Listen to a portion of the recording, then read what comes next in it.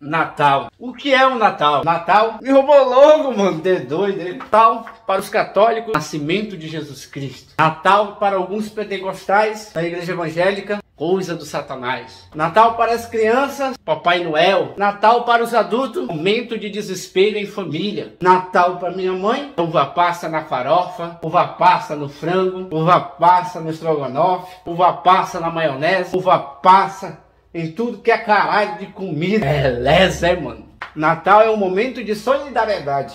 Significado do Natal? Um símbolo de esperança. Mas as crianças não querem saber disso não, irmão. Querem saber de presente. Natal é aquele momento que você pega e gasta seu dinheiro com presente com desconhecido em amigo oculto. Amigo oculto da igreja. É amigo oculto do amigo que era amigo de reunião de amigos do amigo oculto. Roubou logo, mano. A maior resenha é o Natal, irmão. Onde você conhece todo mundo e conhece também um desconhecido. As nossas mulheres que nos amam, aquela que vive batendo na gente o ano, o ano todinho, de perdão no Natal das coisas que fez, decide comprar presente de Natal dia 24, às 4 horas da tarde. É doido, é? Vocês estão preocupados? O dia 24 cai na quinta-feira. Que é pro dia 25 eles folgar sábado e domingo. E talvez voltar segunda-feira a trabalhar. Isso só para quem ficou trabalhando nesse mês de dezembro, né, mano? Todo ano tem que ter. Não consigo entender essa onda que a gente só pode comer depois que bate meia-noite. Porque a gente não começa a comer logo. E Natal de gente pobre é totalmente diferente da gente rica.